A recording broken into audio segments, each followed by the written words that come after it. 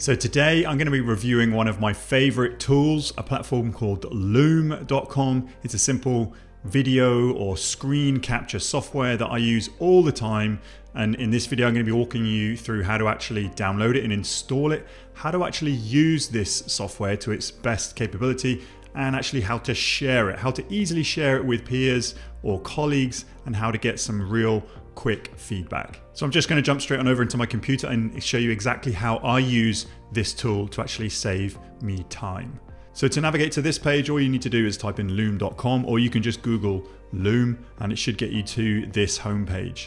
Now, there are a few things I want to talk about before we actually start. There are a few price points uh, for Loom and the best thing about this is there is a free price point. Now I've been using Loom for a good few years now and for the longest time I've used the free starter pack. So here it's everything is free, it's just you can't record for any length of time above five minutes. So if you're going to be using short videos, and I mean like anything up to five minutes for the duration of this, you can actually use this starter pack. But if you wanted to use anything above five minutes, then you might have to spring for the business or the enterprise. So for here, then you can actually sign in or create your free account using Loom. I just use Loom, I sign in with my Google account. Uh, you can either sign into this desktop version or you can actually get the Chrome extension. If you just, again, Google Loom Chrome extension or go to the Chrome uh, web store and just Google or look for Loom, and then you can actually get this and I'll show you how to use both the web-based application and the Chrome extension. So I use this platform for sharing a, a message with either my colleagues or either my customers or just any peers that it's a message that is a little bit more than a couple of words, but it's actually a very, very quick way of sharing your screen, sharing your video, and sharing your audio to actually showcase a problem or a challenge, or actually just a review of something that you've done using uh, Loom. is very, very quick. So I'm just going to log in and show you how to do this. So sign in, I usually just sign in with Google and I sign in just with um, my Google account. So it's going to open up straight away into the library page or your videos page. I'm going to start with the home page. There are also lots of uh, communities and Q&As you can actually um, ask questions for or see how-to videos on actually how to best use this platform. But I'm going to run through it today in this video. My library, these are a video database of my library. I've recorded um, hundreds of videos using Loom. There's notifications here. If anyone um, either comments on any of my videos uh, or has watched them, you get a notification. You can uh, click for watching later. There's a history of my videos here. Um, and then you can obviously go to the community and then go into settings. Here, the settings, you can either have a personal or a workspace. And here I just use my, my personal, I just have me, one member. If I had more team members that I'd want to add, I would just use those and then add them into this account. I'm going to go back to my library here and you can either um, start a new video from this web-based application here. You can record a video or I've actually installed the web browser. So if I wanted to create a video of uh, say my homepage, uh, I could then go to the uh, web browser here uh, the Chrome extension, sorry, and then as you can see, it's picking up my voice as I'm talking now.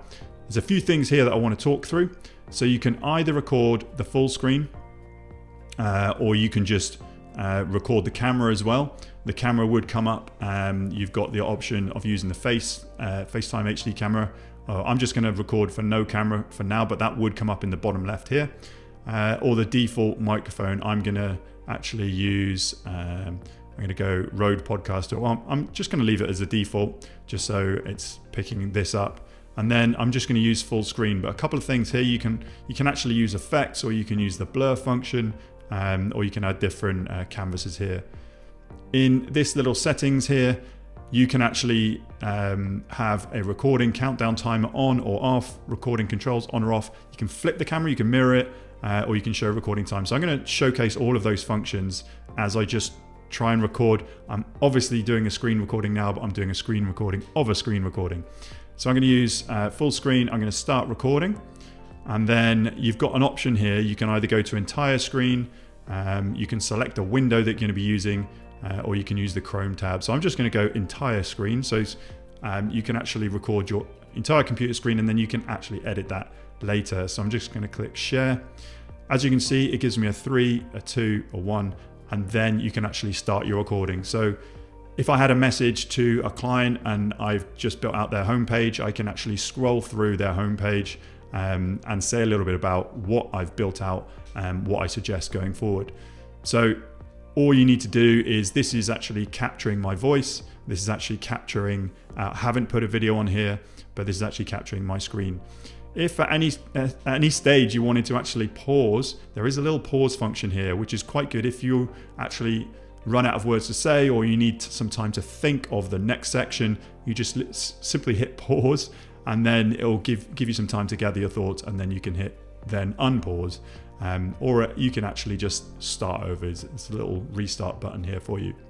Um, so yeah, that that's basically this video. I'm going to click stop. Then that is going to actually save that immediately. And it's got this little cute AI function now that it's actually listening to what I'm saying and it does transcribe everything you're saying. So it's really impressive.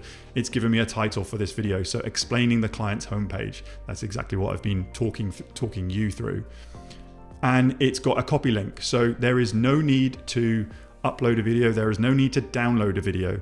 All you need to do once you've created an account or you've used the web browser is you've got, you simply copy that link and then shoot that off to somebody, whether it's in a chat or an email, and they've got a link to this video. Now you can go and play this back just to see if um, this video is, is good to go, but that's it. What I would do, a couple of points here, what I would try and, and share is um, naming convention. If this is for a client named Tom, I would probably start with with that. If it's actually showcasing something for my team and I'm looking at uh, market marketing or clients, um, I would just try and use a naming convention here that you can actually showcase uh, across your whole website. So when you're actually in the, uh, the Loom settings and you're actually going into your library, you can just use uh, the search function here and you can search for any of the videos that you've created and then it should spit out the video that you just created. But this is good to go. This should now be in my library. Um, and what I would do is I would share this to uh, the client. A couple of things here that I want to point out. There is an edit function here. And if you um, if you went over a little bit or uh, if you had to pause or you didn't start too well, uh, there is a little split and trim here. So it will take a few, few steps to actually uh, regenerate, but all you can do here is say like if you wanted to cut the ending off, you can just simply click and drag to where you want to cut that ending off. And then once you hit save, that will save your video recording and then it instantly will update. So if anyone uses that link, it will actually see your edited version. So I'm not gonna, I'm gonna cancel that for now and discard any changes. If anyone sees this, so I'm going to copy this link and open an incognito tab.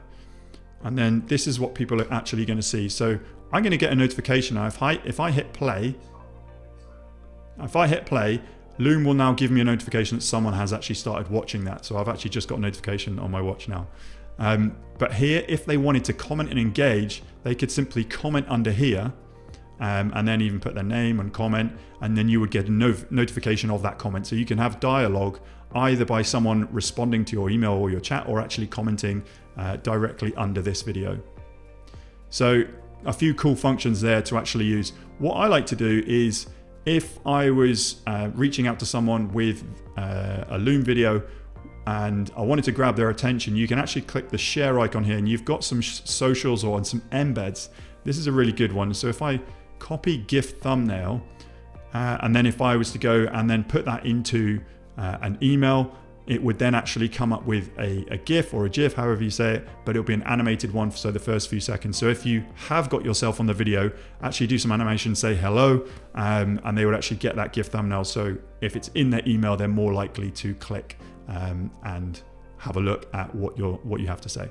And that is it, a super quick tour on how to use Loom if you've ever thought to yourself, oh, I just really want to reply to this individual, but I need to show them something or talk them through something it's a great way of actually just recording a couple of minute video and then shooting that off to them. It's actually going to take you a lot longer to actually re record um, or, or, write out an email to them or, or a chat message. So just simply hit record, record your screen, talk over it, walk and talk them through what your question is or what your review is all about, and then hit send. And then you get some notifications when they've watched that and if they have any comments for you.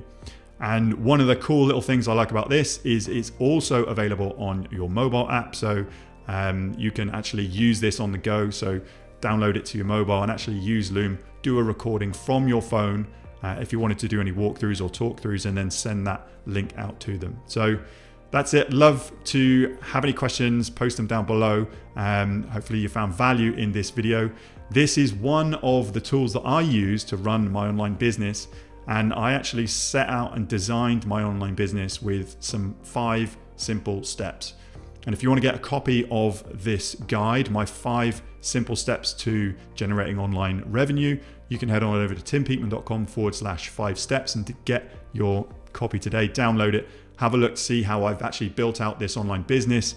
I look to actually grow a micro business and become a solopreneur. So if that excites you, if that interests you, head to timpeakman.com forward slash five steps. And I look forward to seeing you again on another video soon.